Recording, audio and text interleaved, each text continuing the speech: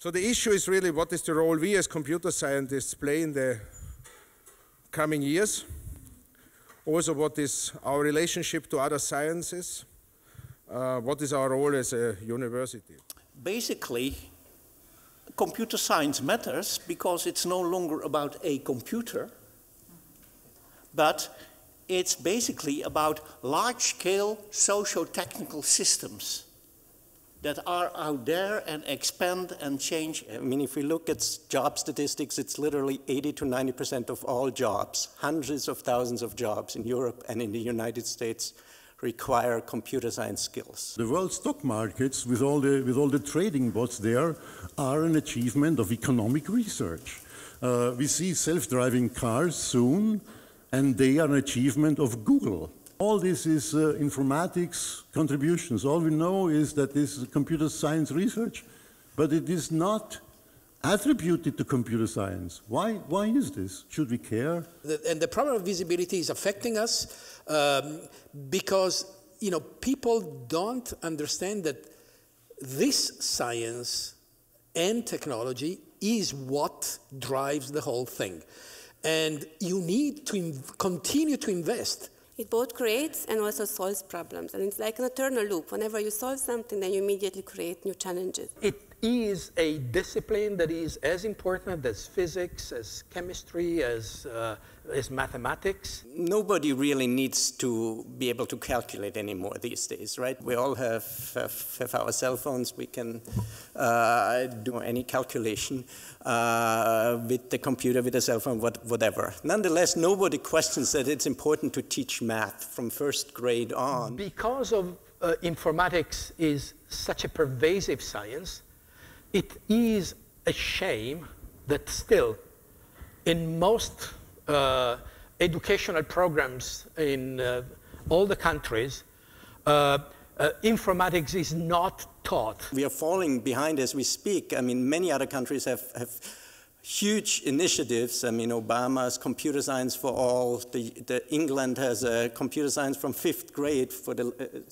started in 2013, as I know. And that is what we really should be talking about. I don't hear anybody in Austria talking about that kind of topic. Uh, do you have some uh, concrete recommendations what should be done in Austria in order to catch up with other countries in that respect?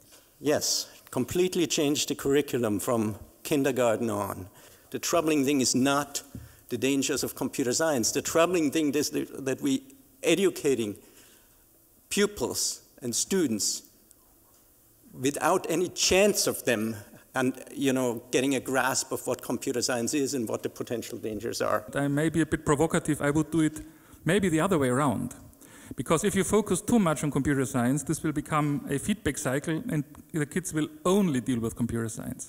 I find it a bit odd that we might have an argument now that there may be too much computer science in education because I don't see any of it. Explaining what is behind this, you know, I think this, these are the fundamentals of education, you know, and, and, and if we fail this, you know, we are just failing with the next generation of people. We cannot have a rational society and unfortunately we, we see all these signs of, of, of going the way of, of a completely irrational society without teaching uh, computer science and rationality is a big part of it. Is there something we can do also from within the universities? It should be shown that the university is taking responsibility. And we, of course, we can't do everything, but we we should use our brains also to show that there is some rational responsibility behind. I have learned from Hans that they have community service learning, so they go out and teach the community.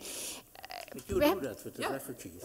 That's what, what uh, we have done for the refugees. Uh, shouldn't developers, innovators, or scientists in computer science to be forced to also think about the, the social or ethical problems um, they may create? as they uh, invent new things. Uh, for example, the automated car of Google. Now you have an ethical problem in algorithms uh, to decide do you kill the driver, do you kill the two persons on the left side or the three persons on the right side? As Carlos said, we cannot delegate that kind of responsibility to oh, this is an ethical issue, leave it to the philosophers, or this is a social issue, leave it to the social scientists. This is also something that must be taken on by computer scientists in collaboration with others.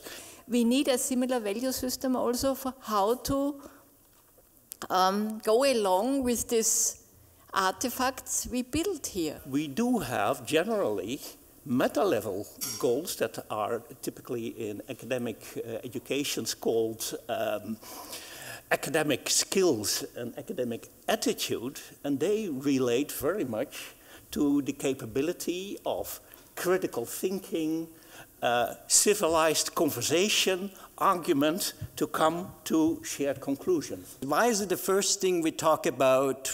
Should the who takes the decision? You know whether the person on the left or the person on the right is is is killed. Why aren't we actually talking about when a madman drives into a crowd of people, as it happened in Graz, that car makers are not obliged to put technology into their cars that could actually prevent that today. We should develop computer science further, but for the good and not for the worse. And here, I guess we need, again, this, this, this value chain. Yeah? I'm a business informatics person. So we need a value chain, but not only a business value, but also moral values. Isn't it true that um, uh, artificial intelligence is said to uh, surpass human intelligence? Personally, I would file that under the chapter of irrational fears. We don't have a, um, like impossible expectation to computer science that of building a product that is going to react in all possible uh, scenarios. So in order to, uh, to, that, to teach or also to make industry uh, development more successful, people should be aware of it that we cannot build one product that is going to be. Much of this irrational fear of, of, of, of computing, of automation, of robots, of ultimately, you know, jobs going away and so on, is based basically on lack of knowledge. In fact, what we try, at least at the Faculty of Computer Science uh, the, at the TU Wien, since the mid-80s, that we uh, not only provide the best theoretical uh, and technical underpinnings of uh, computer science, but we also try to uh, integrate this reflection, this critical reflection mechanism also in our curricula. The two faces of Janus will continue to stay with us. Software sciences also have errors if you don't understand all the consequences. That even if we try, even if we think we understand all consequences, we are humans, so we are going to miss one of the consequences. The Enlightenment project is not yet over, but we have to re-establish, redefine human rights, civil rights, the notion of privacy. So this is not done once and for all, but has to be rethought, and that's a part of the role of computer science in today's uh, society. One thing I have learned in this discussion is this nearly permanent dichotomy uh, the, these two words, these two faces. We have the, what Tom has said, we are working in the abstract, we can do everything, we are not limited by physical limits, but at the same time we change the, the physical world, so this is somehow what, uh, what we are doing. Uh, thank you very much for your interest and your lively uh, discussion. Uh, also your participation and your questions. Thanks a lot uh, to all of the panel speakers.